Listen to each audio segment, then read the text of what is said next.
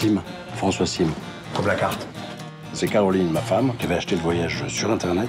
Elle m'a quitté le mois d'après. Vous savez que je suis en pleine dépression depuis six mois Ah oui? Ouais. Gabriel m'a dit que t'étais un excellent vendeur. Et voilà la merveille. Tête détachable. Tu veux essayer? Ah ouais. Oh là. Ah ouais. Quatre vendeurs partent aux quatre coins de l'hexagone. La quête, comme dans Le Seigneur des Anneaux. Prenez la première Il sortie. faut savoir, Emmanuel, mais ça va. Je plaisante. Je peux t'appeler Emmanuel La brosse en poil de sanglier. Bah et alors, je vends pas des brosses à dents ici. Et les gens qui viennent prendre de l'essence, ils ont pas des dents? Bon, je vous jure que ça nous intéresse pas.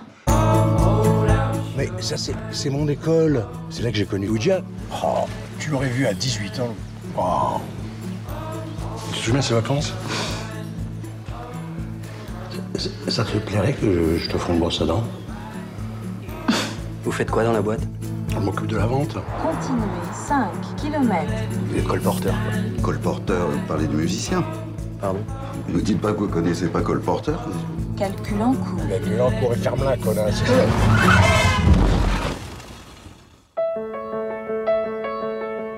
Vous avez connu la solitude, vous? La vraie?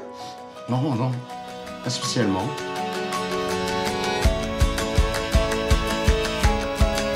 Ça que j'aime bien chez toi. Tu me juges pas.